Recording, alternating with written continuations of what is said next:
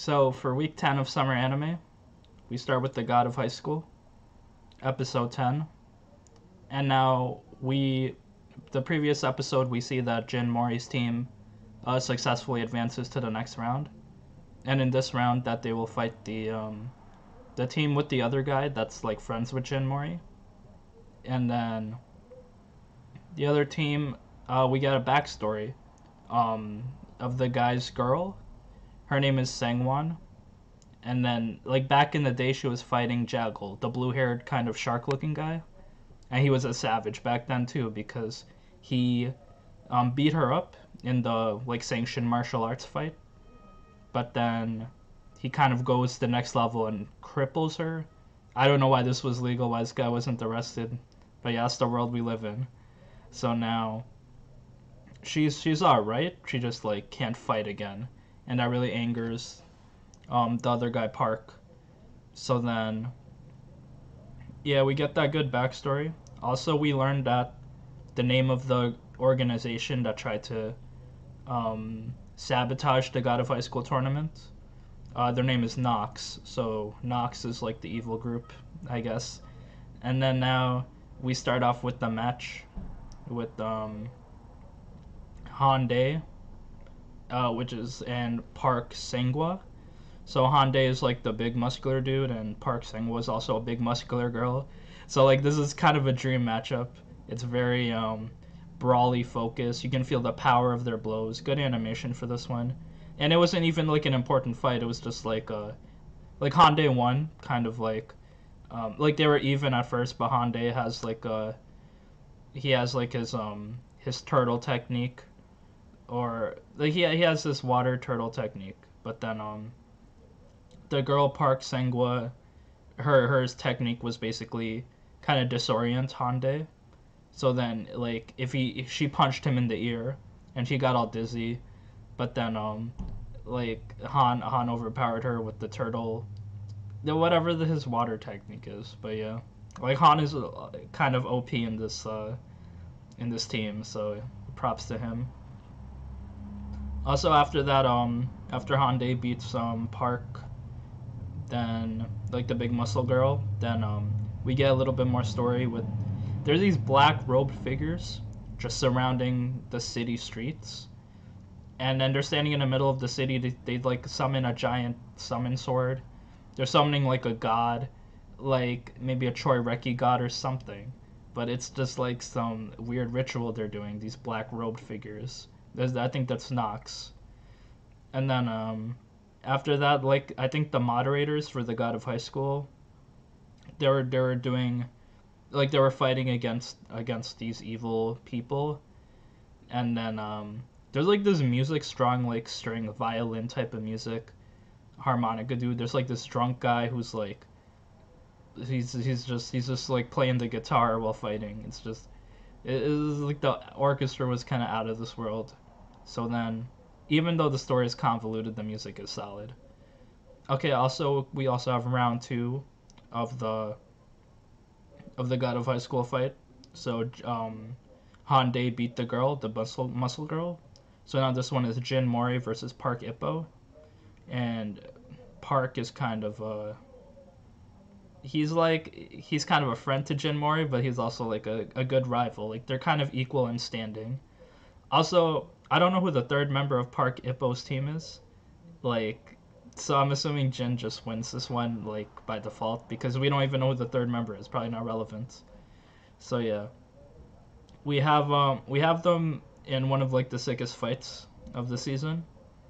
Uh, I don't think it's the best fight, like, of the season, but it's really sick, where we have, um, Jin, like, he's being countered. Like, Jin is usually, like, the like the hyperactive, like fast and powerful guy, but he's been countered. So Park is really smart. He knows his like techniques how to like counter him. He says, "Oh, you're you're bad at close combat." Oh, he's like, "Oh, you have three weaknesses. You're bad at close combat. Your techniques use too much energy, and your moves are really obvious. Like I can tell what you're doing pretty easily." So then Jin Mori's like, "Fuck you. Like I don't care." Then he hits him with the Jin Mori original yeah, I think this is the number two original, which is the twin blue dragon kick. And this was sick because Park Ippo, he was like, he brought his own technique, which is the Taekwon Blazing Cyclone Blade, which is like, I don't know, the Blazing Cyclone Blade. Like he just kicks his feet into like this big fire. So then his um fire kick matches with uh, Jin Mori's blue kick, and then they'll kind of make a big shockwave and cancel each other out. So they're evenly matched, but Ippo is just like he seems to be a little bit more skilled than Jin Mori. Like he just probably had like a bit more training, like one or two years. But then if like Jin Mori was like had two more years of training, like he'd probably beat Park. So, but right now they're like Park is kind of like a higher level um, at him than him. But then um Jin he Jin did some wild shit, which I did not expect. Uh, kind of a shonen. Well, it's not really a shonen, but like uh, action protagonist to do, where he copies his friend's moves. So then he pulls out the moon sword style, um, which is uh, Yu Mira's technique. So he does like a like a cut like from her her like fighting style with, with his like hand. So that was like like damn he he's copying techniques, and he also uses Handai's black turtle stance like the defensive, um, or like rocking rock stance. To attack, so it's like he, he has he has some moves now. He he's like copying other people's moves, so he's getting a little bit more powerful. And then it is it's kind of strange because he's getting stronger every fight, but he, like he copied his friend's moves. That seems kind of unfair. Anyway, after that they they pull out an ultimate move. Like you thought the uh, Jin Mori original was was OD, then this one is like even more. So then he does the Blue Dragon Tempest Jin Mori Original 3, Blue Dragon Tempest. That's such a mouthful. But then um, Park Ippo fires back. He has the Hellfire Blade, which is like another flaming kick. So then their their attacks kind of um, collide, but then we get a flashback in the middle of it, where um we, we see Park Ippo meeting uh, baby Jin Mori. So like Park was probably five years old and Jin Mori was like two or three, and then um Park also sees the grandfather, and the grandfather asks, um, "If you see my grandson ever again, try to teach him something." And then yeah, that's it. But then uh, Jin Mori seems to win this uh, collision, and then um, so that's cool. Jin Mori wins, but then uh, like Park Ippo's like watch um, like life band goes to negative one GP and I, rem- I remember GP as God points, so it's not really explained too well, but yeah, it's negative one, so it's like, is he dead? Is he like, like what's happening to him? And then he turns into a furry, like a nine-tailed fox-looking furry, like white fox type of design, and then it, oh, whatever, bro. You're you're a furry, good, good for you. but then yeah, apparently he's super powerful, and then it's just like the key is awakened, so he's like he's like the key that they're looking for, like the Choireki. Like he's like I guess like the final piece of the puzzle. So we'll see if it gets explained next episode. But damn, uh, a lot of good action. So I'll give it I'll give it that good action and music for this. Okay, episode. so for RE zero, episode ten, we start off with um, what we saw last episode. Just like ASMR, I love you, from the witch Satella, just like mind fucking Subaru the whole world is covered in shadows. They're trying to get away. And then the Subaru is like suffering, and then the witch kind of tries to overtake him. And Subaru's just spitting. He's like, Bro, I'd rather love the other witches than you. Like, I love Emilia more than you. Like, you you ain't shit. And then she gets all angry. But then, um, before she kind of tries to absorb Subaru, he kills himself with like the handkerchief that um, Echidna gave him in the tea party. So apparently that handkerchief was like magicked into like being like a fail-safe escape device, which is pretty cool. Okay, yo, waifu points for Echidna right there. And then um, we see we see um, Emilia um, and Subaru meet up in the trial uh, room and then yeah, everything's happily ever after. No one's dead now. Everyone's chilling. Okay, so then after that we get some backstory, um, which is pretty cool. The Ryuzu's, the little like short girl that's kind of mysterious. We kind of find out that she's a copy. She's a clone. and then they're doing like there's there's the real Ryuzu body encased in ice in some uh, laboratory. Um, Echidna's lab, I guess it was, and then the corpses like, or I mean the copies like purpose is to fill them with like memories, personality, knowledge. It's kind of like a Build a Bear, like a Barbie, like your, your Barbie dream house. They're making these like girls and they're like filling them with whatever. And I guess the goal is to gain immortality. But then the um the Witch of Greed, Echidna can't really fit into the body, so her like, I mean like the Witch of Greed is too powerful to fit in the body, so the experiment with Ryuzu is kind of a failure. It doesn't really work for her. So then that's yeah we get the we get the story of that. Also Ryuzu kind of tells uh, Subaru that um, if you have Echidna's like DNA, hair or something inside you, the Ryuzu will listen to you. And then that's really important because that explains why um, the Ryuzus listen to Garfield. He also has some type of uh, DNA of uh, Echidna, so like we don't really know how he got this DNA. So I guess we'll find out soon. So Subaru and Emilia have like some nice moonlight get together moment where they support each other.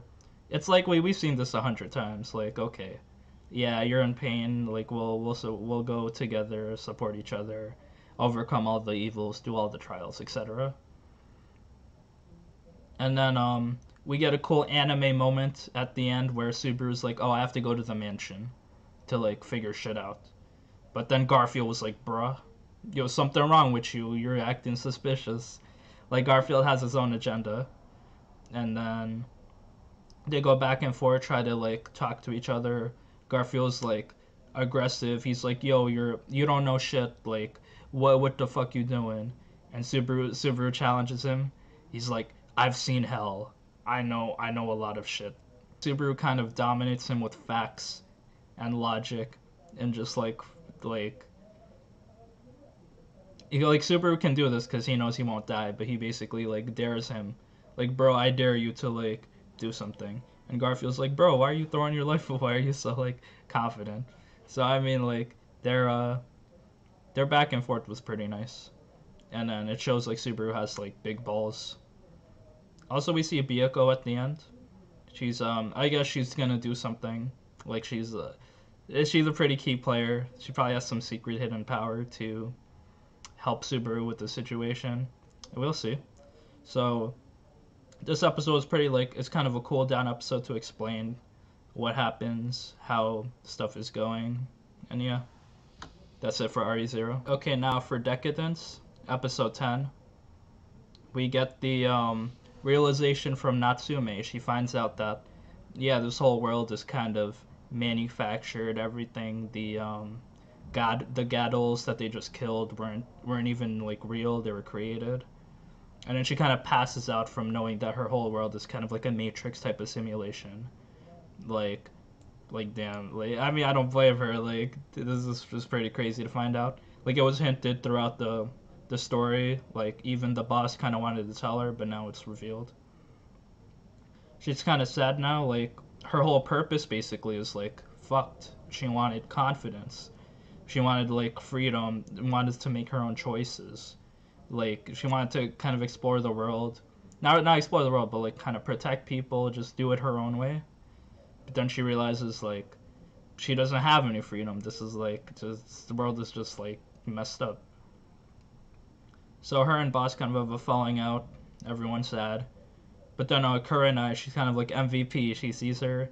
Kurenai consoles her. She kind of tells her that hey, everyone has their own opinions. Everyone has their own experiences. No one should tell you how you feel.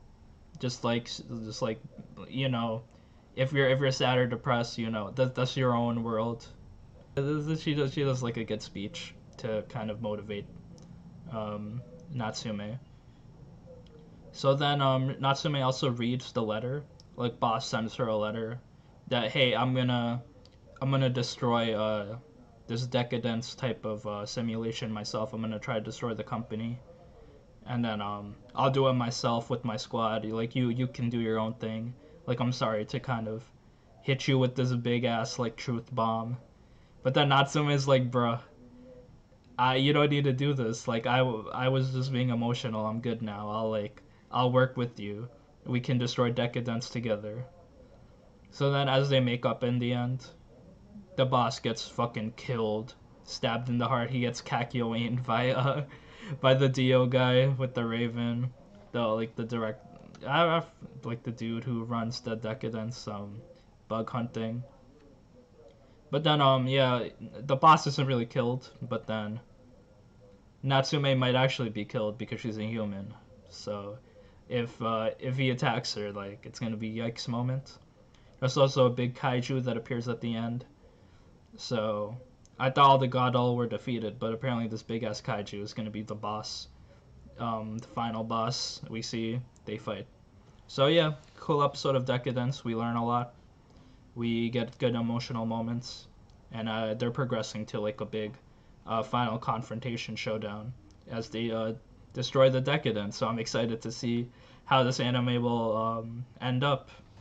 So for Fire Force season two, episode eleven, we kind of get a cool down episode as they end the arc of going to China and finding the information on the Amaterasu last episode. Here they give a rundown to the uh, Commander Obi, and um, yeah, it's it's kind of sad because they just basically say, "Oh, this information that the church is lying, that the power source for the Amaterasu is actually like a person. It's gonna shake up the whole country. So you gotta like, you gotta chill with it. Like the church is saying, "Oh, let give us three years to reevaluate, and then we can tell the public," which is kind of a letdown because this big information now has to be covered up Iris is also really sad because she's a, she's a priest and then like her whole world is just like shaken. Like what what what does she believe now? But then um Obi kind of consoles her. She's like, "Hey, it's it's gonna." He's like, "It's gonna be all right. Like, well, we'll figure it out." And then Shinra has like a, a shonen protagonist moment where he's like, "I gotta like protect Iris. Like, we got we gotta find the truth so like no one gets hurt or sad." and we know what the fuck is going on. So then we go to Joker and Licht. It's kind of focused towards them, and this is cool because like we really did not like we really need more Joker sections. He's so cool, but he's he's just been in the back like doing his own thing. But now he's like into focus now. So then the Joker kind of considers himself an anti-hero. He calls himself the dark hero. so like that's um that's that's like he has his own like mental state where like like Shinra thinks of him as a hero, but Joker's the dark hero. So then um we get a tiny bit of Licht backstory even before this where he's like he's a pretty good scientist, he's doing research on human combustion. Like he gets praised and stuff. But he doesn't think his work right now is like important, consequential. It's it's just like he, he doesn't know why he's doing what he's doing. So then, he, this kind of shows his motivation of trying to uncover the truth his own way. Um, so yeah, he's doing he's doing stuff his own way. He just wants to know the truth. And he doesn't think that the fire soldiers like he thinks the fire soldiers have like done all they could. Now it's up to him to to do underground shady research. Also, the Joker and Benny Benimaru team up which is very crazy. Did not expect this team up at all.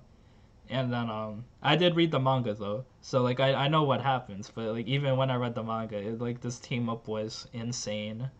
Unexpected. But Benny Benimaru kind of is like Yeah, fuck it, I'll follow you. Cause Joker's like, Oh, I know you hate the church. So I know you wanna know what kind of is going on. So then yeah, they there's a funny moment where they two go to the big um, church building. It's like the, the headquarters of the Holy Soul Temple. And then they're overlooking the building across the street, I guess on top of another building. And then Benimaru's like, hey, why do we have to climb up here? We have to go down anyway. And then Joker's like, because heroes go on buildings. like, the heroes have to stand on top or whatever. So then, yeah, the Joker's pretty funny. And then the Holy Soul Temple is actually like a, has a really cool design. It's like this big white Empire State looking tall church building. I don't know why a church building needs to be this big, but that's how it is. And then after that, we see like Joker and Benimaru just crashing in the gate, just like beating up all these guards. Apparently they're elite guards, but they they, they look so ugly. Their haircut is like this uh, coconut bowl cut, but then the top they're bald, so they're completely bald up here. But then they have like the coconut hair around here. Looks looks really bad. But then um apparently they're elite guards, but then you know Benimaru and Joker just style on them. Benimaru does his like like his style, his Demon Slayer type of number attack style, and then um, Joker does. We don't really know what Joker's power is yet, but he has like some type of smoke power. He can like suffocate people, and then he has this like uh, fire card. So he has like smoke and fire cards. That that's like his power. So then yeah, although at the end something funny happens, um, Benimaru gets blindsided by sneak attack, and then this big ass um, uh, Holy Soul Temple guard uh, comes out, and Joker's, I mean, Benimaru is basically incapacitated, and Joker's like, damn, that's pretty lame. so then, know, I guess we'll see it the next episode how Joker deals with this um, muscular new um, new enemy guard. I guess he's not really a boss like character, so I guess like Joker will beat him no problem. But I don't know. he made he made such an impact, uh, knocking out Benimaru like that. Okay, so for Rent a Girlfriend, episode ten this week, we had um a little bit of fun seeing Kazuya and Ruka um, together at their uh, karaoke job.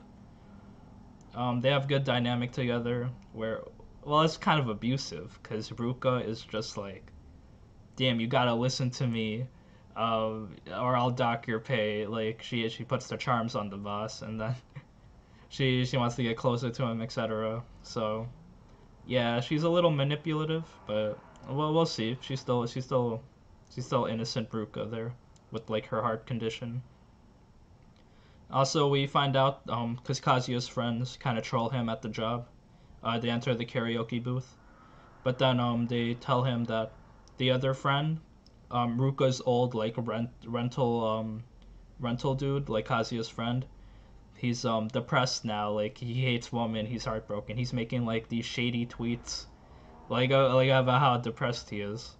So then um Kazuya kind of uh, like the the nice guy he is, he has to he has to help him out.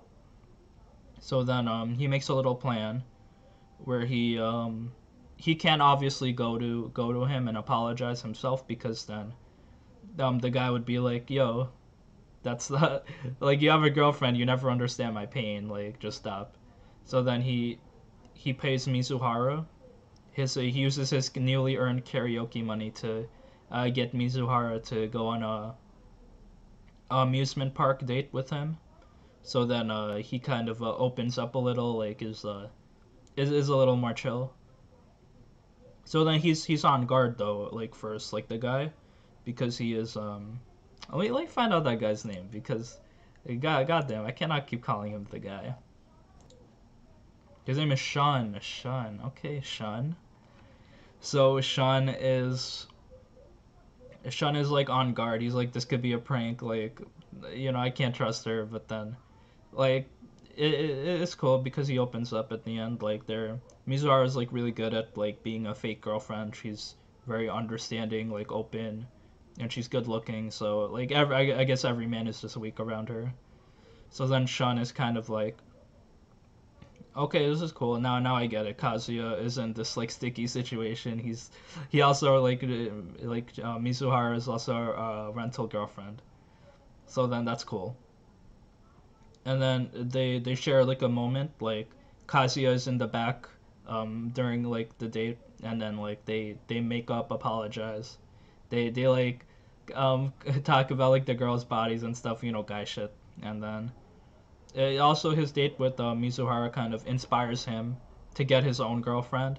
So I guess like this is a good experience because now he's gonna better himself, like work on hygiene, like maybe work out. Maybe he's gonna be a Chad like two episodes later or next arc, and then we see him like with his own girlfriend.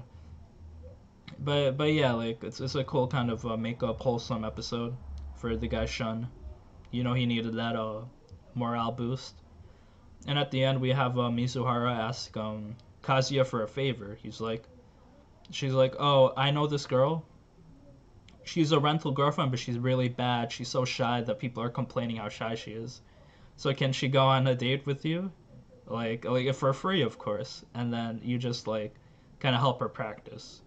And then this is this is interesting because we're on episode ten. There's only two more episodes left, and this is like the final girl of like the of the harem, I guess, where we get the um like the first girl, which is Mizuhara. Uh, second girl is uh, Mami, which is the ex. Third girl Ruka with the blue ribbon, and the fourth girl is the is Sumi. So she is she's the shy girl. And yeah, probably she probably is gonna join the harem. So it's it's it's about time. It's only a matter of time. Okay, now for Uzaki. Uzaki wants to hang out, episode 10. So Uzaki and Sakurai go on some island trip together. This episode was basically the slice of life, best slice of life ever. Nothing really happened, but it was like a lot of stuff happened in the island itself, but uh, nothing to advance the plot. So it was just like a wholesome island adventure. Uzaki kind of uh, has a competition with uh, Sakurai where they um, see some big sand dunes. And Uzaki's like, oh, last one at the end owes each owes the other one an ice cream. So then, um, you know, you see Sakurai running, you think he's win, he'll win because he's the most athletic dude. But then Uzaki kind of cheats. She just has like this sandboard that she rented, and a helmet, and she just like zooming down the the hills, the sand dunes but then um she gets fucked because of the momentum stops at the at the bottom. So then she has to run the last few uh, few feet, but then that's when Sakurai ca- catches up because Uzaki's not really athletic. And then after that, um, oh yeah, Ami, Ami-chan and the blonde dude also like tag along on the date. They're just spectating like a cell. So then they they travel together. Um, they're in the island name is Tottori Island there's a lot of couples there, so it's like a couple focused island, which is kind of like they get they get embarrassed like damn. And then um they they do stuff. They eat these rabbit cakes. Uzaki's like, no, don't eat me. I'm a rabbit. So then Sakurai kind of gets uncomfortable trying to eat it. And then um they go to a museum together. The, it's like a manga and figurine museum actually, which I thought was pretty cool. Like I paused the um, episode try to see if there's some any Nendoroids that I actually like recognize. I, I can't really though, so they're probably just uh just a random uh, fill-in uh, figures that that have no like affiliation. They also go to a shrine together, a couples resort, where we get a quick onsen scene, which was like I, I was pretty unexpected. Unexpected, uh, a fucking hot spring scene this quick, like okay, but then yeah, um, other than that, everything wraps up in a cool uh, island trip to Tottori Island, and then um, next episode we'll probably get more wholesome or more teasing, depending on like I guess what the what the manga goes for. Also, I wanted to talk about two more ongoing animes that are kind of seasonals, but uh, they're they're ongoing like um, a 24 episode shows basically or 25 26 so um, this one is fruits basket episode 23 where uh, i love fruits basket. It's so wholesome and nice and just cozy even though there's like some dark undertones that are happening. But yeah for fruits basket um, there's like their whole cinderella play where it's not really cinderella. It's like a remix of, of whatever they want to do the typical jokes are there. Um, the dark, the the black wearing a wave girl is like the she's playing Cinderella wearing a black dress, all depressed and stuff. And then her family's there to support her. Toru and Kyo have a moment where Toru is playing the evil stepsister, but like you know she's not she can't she's not that evil. She's just uh you know wholesome Toru. But then she's on the side of the in the play and then um, Cinderella's kind of baiting baiting um, Kyo, because Kyo is playing the prince, and then Cinderella's like, "Oh, you wanna you wanna be locked up in a tower forever?" Like she, she's she's doing some like, uh, second wall breaking because it's like the it's like their third wall, but then it's so she's breaking the third wall there, not the fourth wall because then that'd be us, but it's like a third wall break for her. And then um, uh, Toru kind of instinctively says, "No, don't uh, don't get locked in a tower forever," etc. So they kind of have like some romantic uh, chemistry going on. Also, Yuki, um, he he tells because uh, is the fairy godmother, so he tells um, Kyo to well he tells Ryo to basically like make his wish with his own power. I'm not granting you your wish. You have to do your wish with your own power. So then that's that's kind of implying that just uh, Ryo has to just man up and ask Toru out, go out together. He's, he's trying to ship them because uh, that's that's his mom right there. So then um the other one I want to talk about was Railgun, a certain scientific Railgun T, episode 23. And then this anime was going on for so long it's just like due to every pause and everything. I, I just I just love this arc, the Dream Ranker arc. It's just like so fun and nice. Everything is just amazing. So then um, Misaka teams up with Leader. Um, oh, I remember last episode she was fighting the she was fighting the other girl from Scavenger, and then she beats her pretty easily. So then she teams up with Leader. Leader is like kind of scared that oh I have to not piss off the level the level five role, she'll beat my ass. Um, they have good comedy together. She leader gives Misaka like kind of a communication device, which is like the uh, Gekota green frog. So then um, that's cool. They work together to track down the doppelganger, and then like her her skill is very important because it's easy to track. She can just like stalk anyone she wants. Um, other members of the of the um, scavenger team work together to evacuate a building of skill out people. But then Doppelganger gets super strong. She, he, she just absorbs like stuff from her like injured arm. She has like this big cobblestone arm, and she's just transforming into like this big golem. Misaka tries to fight it. She does a good job, but then um, you know, it just absorbs so much. Like her her her try to fight strategy is that like oh, you can absorb stuff, but I can destroy it and it'll burn. So like, you know, she can destroy her, like, but then it is just a match matter of speed of destruction versus speed of uh, regeneration. Also, Misaka can only like um, affect things with iron in them, while the doppelganger can um, affect things like anything. So there's that's one disadvantage she has. Also, scavenger also leaves they kind of uh I don't know if they betray, they'll probably come back, but then they're like, Peace, I did my job, I'm out. So and there we go for Railgun.